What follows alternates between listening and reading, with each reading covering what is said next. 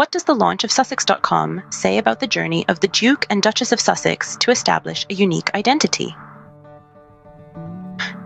This is a question that's been on the minds of many. As the Sussexes take a significant step towards carving out a distinct identity within the public sphere, separate from the royal family. Let's take a step back. In the early months of 2020, following the Sandringham summit, they ceased their Sussex royal branding. This move was part of a larger agreement, which also imposed limitations on their use of royal branding.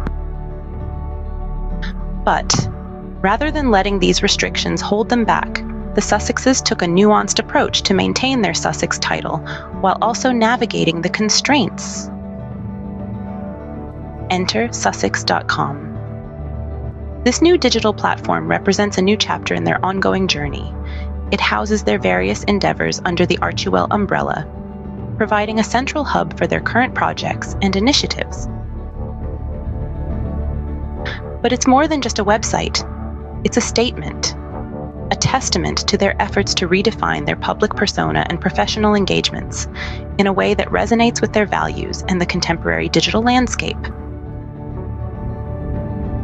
Meghan's updated biography on the website, which encapsulates her time in the UK with a single sentence about her marriage to Prince Harry, further underscores this shift in focus.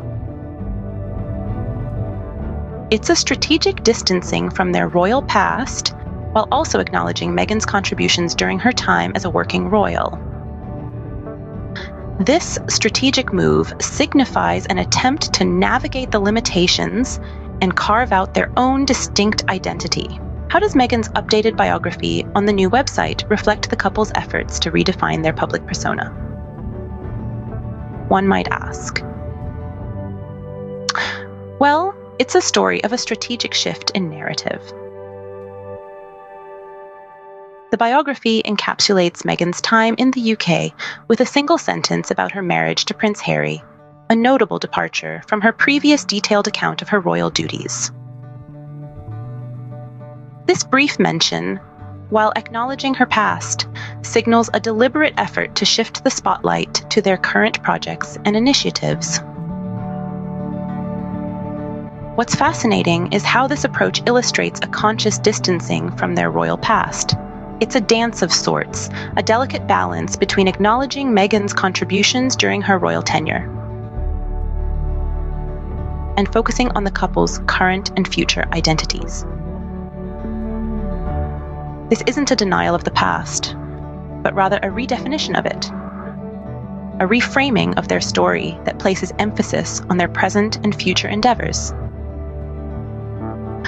This is not just an update to a biography, it's a narrative control, a tool wielded with precision and thoughtfulness it's a way for the Sussexes to write their own story to shape their legacy beyond the confines of the royal family.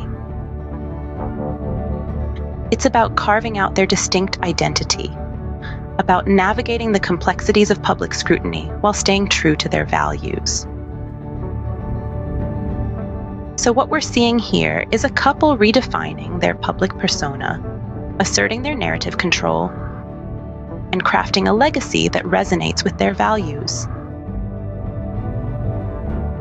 This narrative control serves as a tool for the Sussexes to craft their legacy beyond the confines of the royal family. What does the speculation around the purpose of Sussex.com tell us about the challenges and opportunities faced by Harry and Meghan in engaging with the public and media?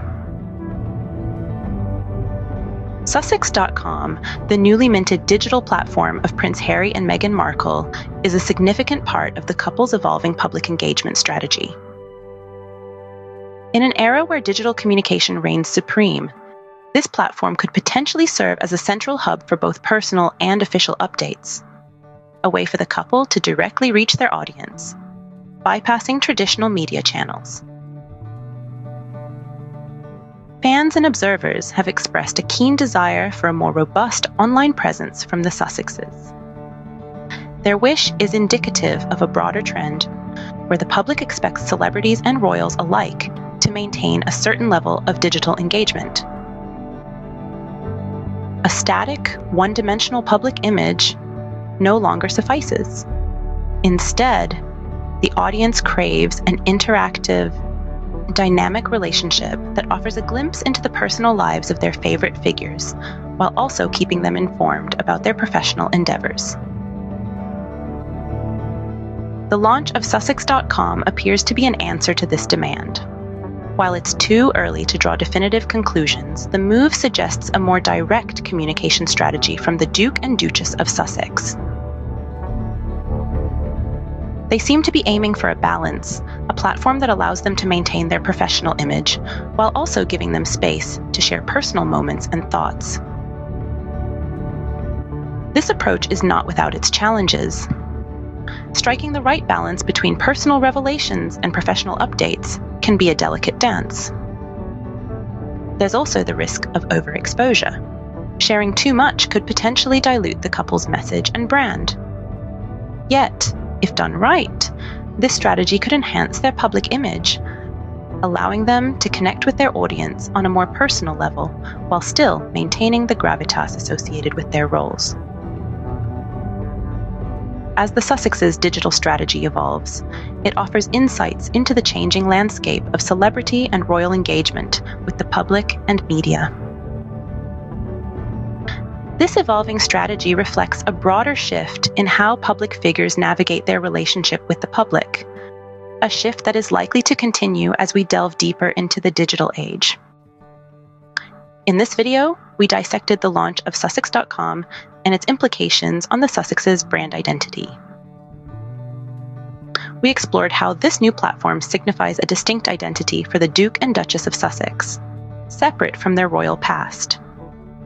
We delved into Meghan's updated biography, a narrative control tool that shifts focus towards their current initiatives. We also raise questions about the potential role of Sussex.com in engaging with the public and media the evolution of the Sussex's brand offers an intriguing glimpse into the journey of public figures in redefining their persona and engaging with the public in the digital age.